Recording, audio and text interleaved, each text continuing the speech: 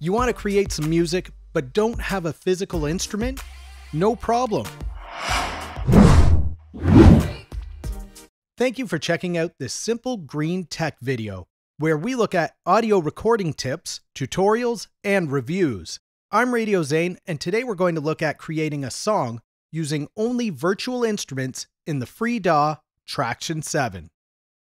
Now, I'm just going to do something quick, so don't expect a spectacular song from me right here, but we'll go over some of the basics like using the piano roll with virtual instruments, adding MIDI clips, and layering sounds, so you can start making some great songs at home.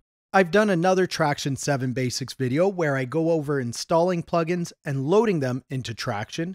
If you need help with that sort of thing, please check out that video. I'll make sure to link it below.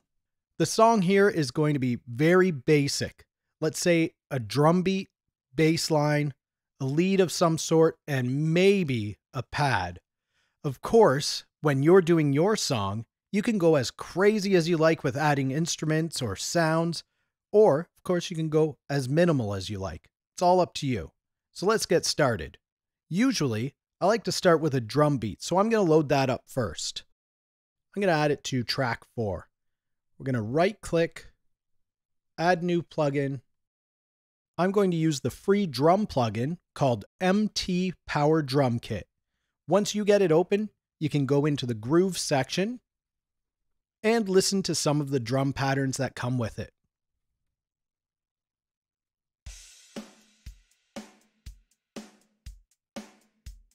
Now I'm going to select this one right here.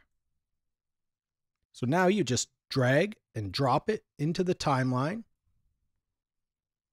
And you can just drag it right to the beginning of your song, right there. You could double click on this track and you can see piano roll a little bit better. Now let's copy and paste it a few times. To copy and paste, you just click on the clip that you want to copy, press Ctrl C on your computer keyboard to copy, and then Ctrl V on your computer keyboard to paste. We have our drum beat. Now let's come up with a bass pattern to go with it. I'm going to load up Vacuum Pro.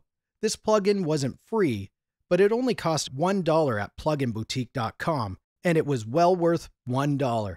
I'll link to them below so you can check out their deals and the free plugins that they have. So let's choose a bass preset in Vacuum.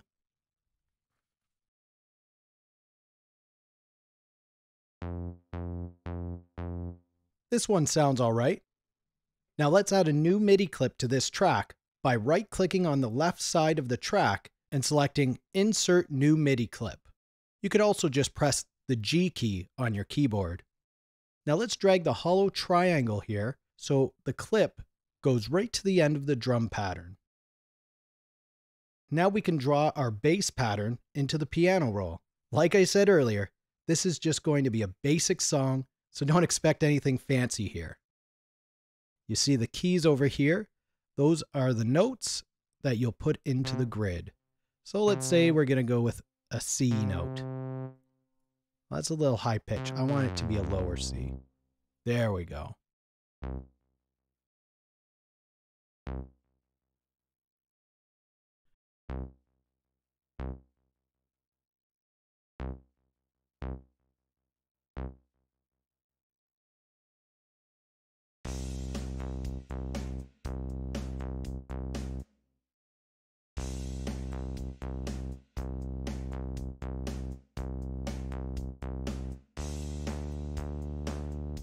Now, if you want to select the notes that you have already and make a copy of those, you go over to this arrow tool here and you just click and drag, cover all the notes that you want, Control C on your computer keyboard, and then Control V on your computer keyboard.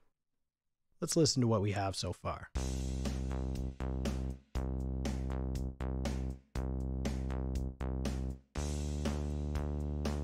So we now have a decent foundation for the first section of our song. Let's add a lead to it now. I'm going to use another $1 plugin from pluginboutique.com called Hybrid 3. You can find a lot of free instruments out there, so don't feel like you have to buy any right away. I only have a few instruments installed on this computer, and they just happen to be those $1 ones plus the free drum kit. Plugin Boutique also has free instruments that you can download, but there are numerous other sites out there with free plugins. So just search around the net and find some that you like. Okay, I'm just going to find a lead preset that works with our bass. It'll be anything here.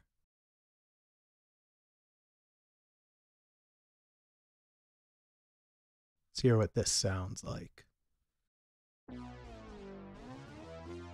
That sounds all right. We'll go with this one.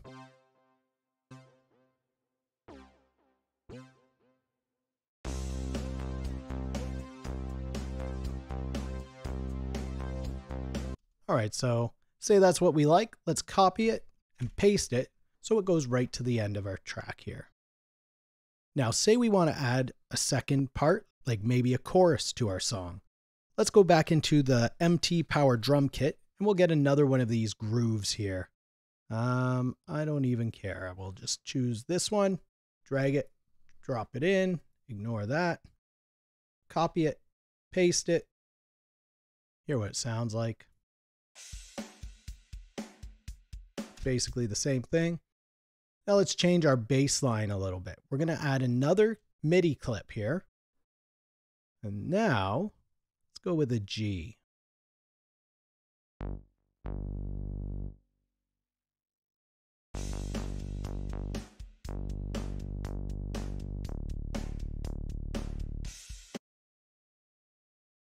And we'll add a lead to this part of the song. Insert new MIDI clip.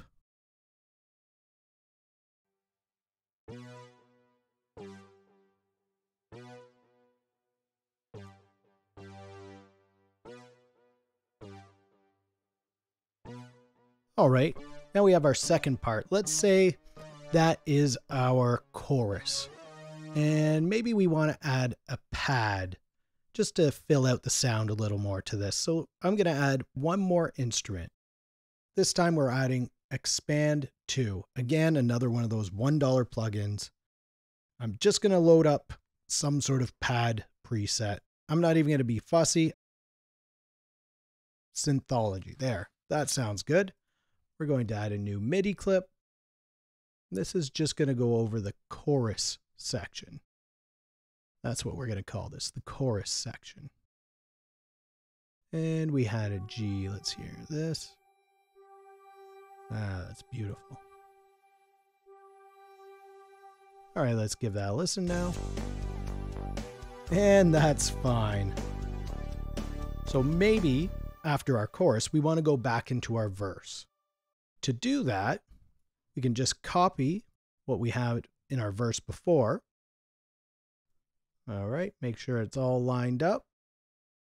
And you can do the same thing with all of the different parts of the song. So now we have a verse and a chorus. That's about all we're going to do for this ridiculous song that we have here. But say I want to add an effect to one of the instrument tracks. Um, let's say the drums need a little bit of compression. We can do that by right clicking over here, add new plugin. I'm just going to add the built-in Tracktion compressor. And if you go down here, there's the presets. You can click load. We'll just choose the drum setting. If your compressor loads in before the instrument track, you can see here how it comes before the instrument track in the chain. Just click on it, drag it over to the side, and you want it to come after the instrument track.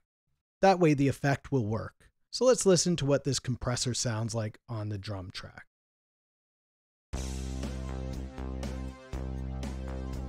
Here's without it. Now I'm sure whatever song you come up with is going to sound way better than that. But there you have it, creating a song in Tracktion 7 using only VST instruments. So let's recap what we looked at. In this video, we looked at adding an instrument to a track, inserting MIDI clips into the track, using the piano roll to draw our patterns in, copying and pasting clips to arrange our song, and we also added an effect to an instrument track. Now let me ask you, have you created a song in Tracktion 7?